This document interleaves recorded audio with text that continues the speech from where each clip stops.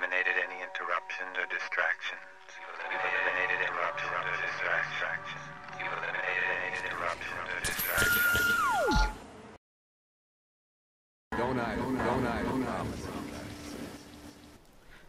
Hello, my fine vault-dwelling friends everywhere. This is DJ, and I'm back with a quick tips video. Uh, I've gotten some que questions on Twitter lately, and a lot of questions on Fallout Amino. Which, um, if you let me just stop here. If you don't know what Fallout Amino is, it's this great app for it's a uh, Fallout community, and they recently hit 25,000 users, and it's a really fun place. And if you're a Fallout fan like I am, it's a good place to go. But this is a quick I had questions on, they said, how do you do that dual switch opener so easily without having to glitch anything or do anything extra? And I said, you know what, it only takes six parts and some wires. Let me show you how to do it real quick. Now, I'm not going to physically build this for you. I'm just going to go through what you need to build step by step and how to wire it. And basically, I'll show you from there. Okay. Now, the first thing, obviously, you're going to need is some power to bring into the building somewhere. So we already have our power source right there. Okay, you can build a switch plate whenever you want. This is the first thing you're gonna have to build right here, which is the uh, pass the uh, wall conduit pass through, and the power for the garage already comes as is. Okay, so now that you got your pass through built and your switch plate built, what you wanna gonna wanna do is build the exact same thing right here, the exact same conduit part sorry about that.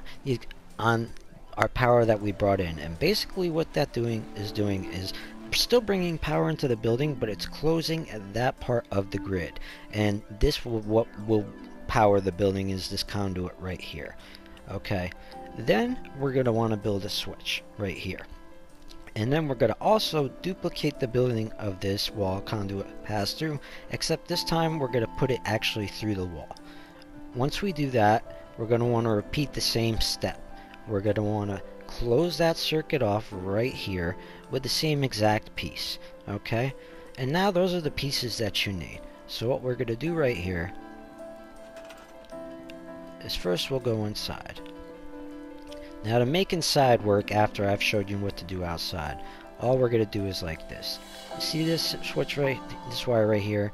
It's the switch from the conduit to to switch from the it's the wire from the switch to the conduit itself. Okay we're going to undo that. And as you see there goes our power.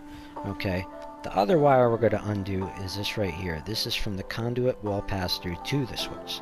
Okay so basically it's like I said you just do like this to that which is bringing in the power. Okay and we go from here to here. Bang power again. And then you test it out just to see if it works like so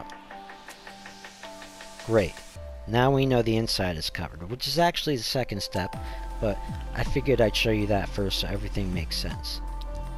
Okay, now that we have all our pieces in place, and I've already showed you how to, what, how to properly wire the inside, let's undo the outside. We'll undo that. Okay. We're going to undo that. And we're going to undo this.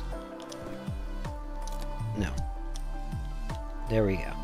Now first off, we're going to need to bring the power in to the main power source, right like so.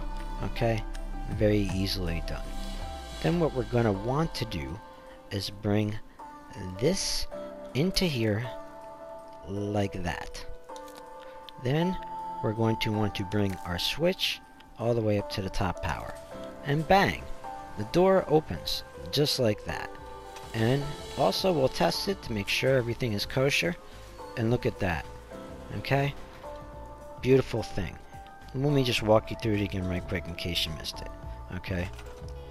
When you open up your workshop mode, make sure you have power to go into the building. Just build the conduit pass through right through there. Help if we could get into place. Okay. Once inside, you're going to build the same piece on what you brought in right here like so.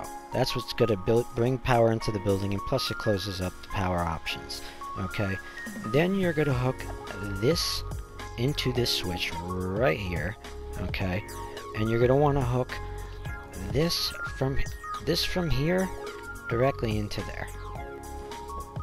Once you come outside, the piece that you had already built to mimic the other side. Okay, you're going to close off as well. And you're going to bring that into the switch. And then essentially you're going to bring the switch all the way up into there and everything will work just fine. I hope this all made sense to you, and if I didn't do it quite well enough, or if you have any more questions, feel free, uh, feel free to leave a comment or anything else. If you did enjoy this video and it helped you out a little bit and you didn't mind my ramblings because none of this is scripted, please, please, please leave a like or subscribe. I can be reached at Fallout Amino. I'm DJ Systemic there as well. You can contact me at Twitter at DJ Systemic. And I also do stream occasionally live on Twitch. And that's DJ slash, well actually DJ underscore systemic. And I thank you very much for watching. Your time is so appreciated. And as always, much love, mad respect, and peace. Until next time.